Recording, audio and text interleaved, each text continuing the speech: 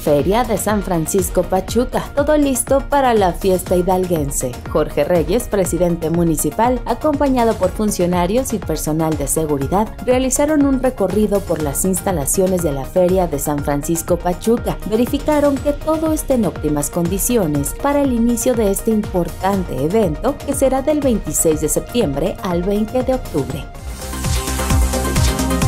Noticieros Teleurban